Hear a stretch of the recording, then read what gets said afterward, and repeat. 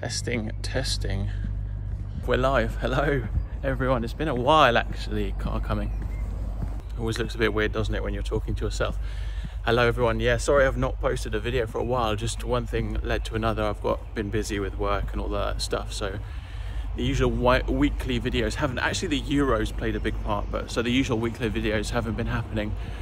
But I've got a new-ish tent, so it's the Jack Wolfskin Skyrocket 2 Dome tent, two-person tent. I just thought I've used it a couple of times and thought I'd show you like a little bit about it and see what you think. Comments below would be really helpful. Just let me know. But I'm going down to my local park because in London I don't have a garden, so and I'm out early. It's about 5:30 in the morning, just so I can kind of avoid dog walkers and set the tent up and show you guys a few things. So I'll bring you back in a bit.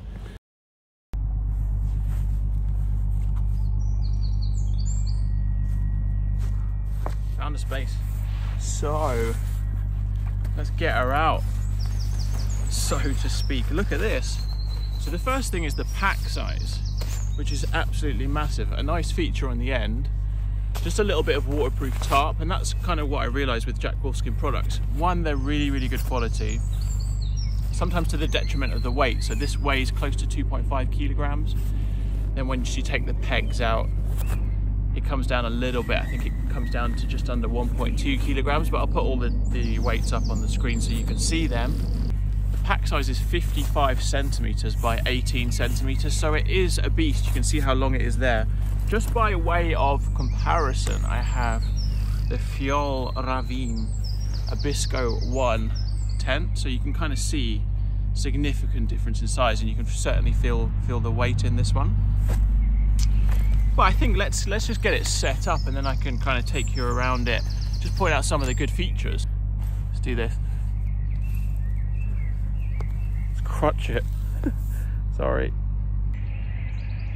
Da, da, da, Check her out. She's a beauty, man. I'm sorry about the noise, man. It's so noisy around here. There's like a building site either side of this park, so so really easy to pitch. It, that took me all of about five minutes, which is what I love about this tent. It's got the kind of tradi traditional, heavier, sort of old school pegs that you see. I remember having those on my first tent, but if I'm honest, this is such a cool tent. It's the it's the best tent I own. It's the best tent I've ever owned. Just obviously not the lightest, but it just feels strong. It's massive inside, and I'll take you inside in a second.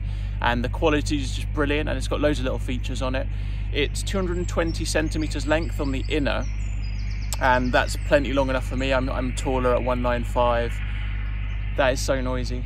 So yeah, I'm taller at 195 centimeters, so it's a perfect length for me, and it's a genuine 220 centimeters. Sometimes you'll see lengths quoted, and they're just not. That's not actually how how long it is, and it feels more spacious than the Wild Country Helm 2, which I had previously. So the poles are DAC aluminium poles. I think they're nine millimeter.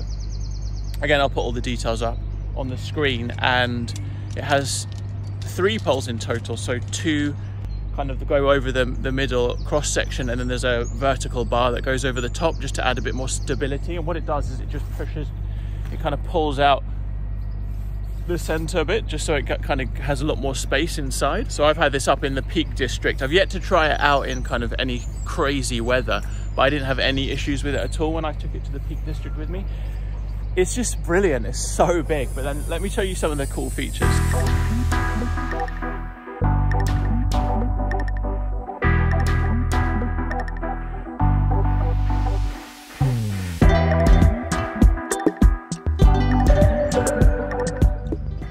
You've got these fasteners, which I really, really like.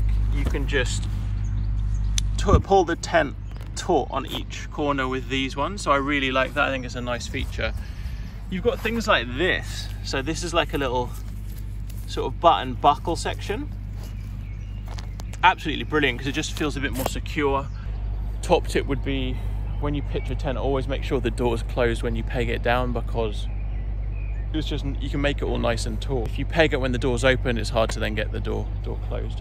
So there's a great little vent zip just here. So again, you unzip, nice quality zip, and just a nice little ventilation part there. There's also another vent just around the back. So it's exactly the same thing around here. And then you can pull it out. So nice ventilation through the tent there. It's also got this zip vent technology where the zip is at the front of the tent. So I think the idea is essentially airflow gets under here to add a bit more ventilation as well as the two vents either side. A nice feature. Completely freestanding, so if you want to move the tent around and adjust it, which I just did just now to be honest, just to get the best location, before you peg it out you can do, you can just pick up the tent and drop it around wherever you want to.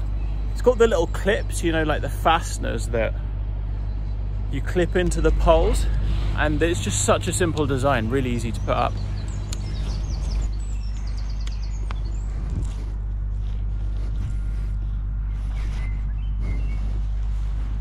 I'll take you inside though, we'll have a look.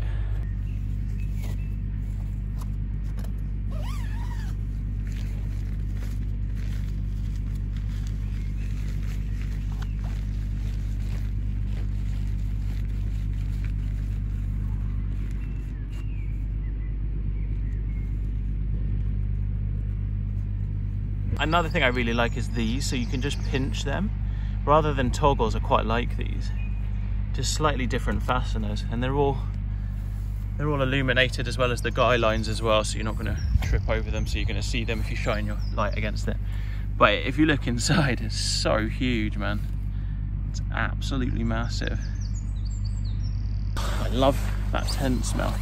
Well, I'm just going to lie down flat now. And yeah, so I, as I said, I'm 6'5", roughly. So it's a decent, it's a decent size for me.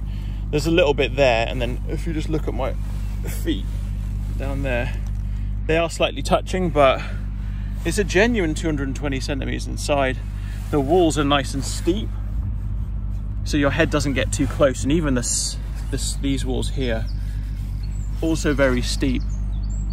It's got a, uh, it's got a really cool section here which I've not attached but you attach like a cover over here and you can put things inside it like you could put your light in it um, so you don't have to hang it up. It's got three pockets I think. So there's a pocket just down here and uh, a couple here as well.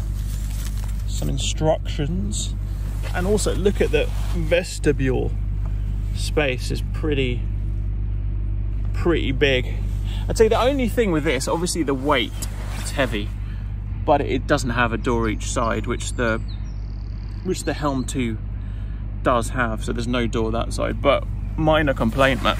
It's massive inside. I was up in the Peak District a couple of weeks ago with the Fjallraven Abisko. Flies.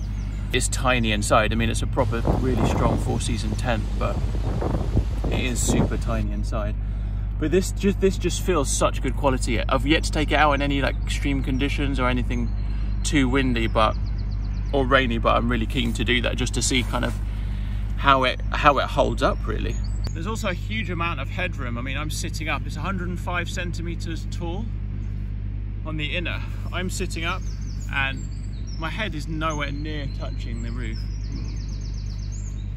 You can see how thick that bungee is there. This is just on the back of the 10 which holds the back section down. You can see it there.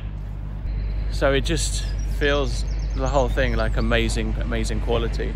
So yeah in a nutshell fantastic fantastic tent. A little bit on the heavy side it's not going to suit you if you're going to go on a, like a long trail for days and days of walking. If you're just up in the mountains for one or two nights i reckon this is going to be really ideal. As i say i've yet to try it out in like really extreme weather but I think like looking at it I think it's it's going to be really really strong and ideal for that kind of stuff. Right we're done we're done. Guys that was just a short one. It's so noisy around here man. Even look at this.